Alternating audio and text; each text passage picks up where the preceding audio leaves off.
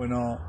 bueno, hoy estamos muy, muy contentos de haber terminado la quinta jornada de bioinsumos organizada por la CABIO y el Instituto Iberoamericano de Cooperación Agrícola junto con la Universidad Nacional de Córdoba,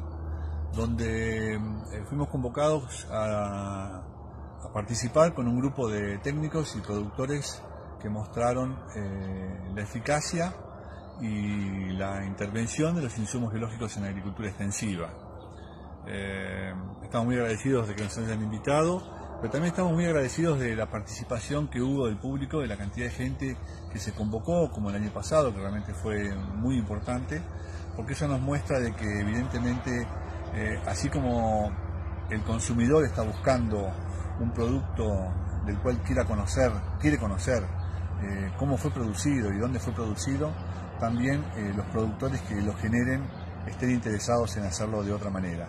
Y eso es lo que desde el Caburé estimulamos, una forma de producir diferente,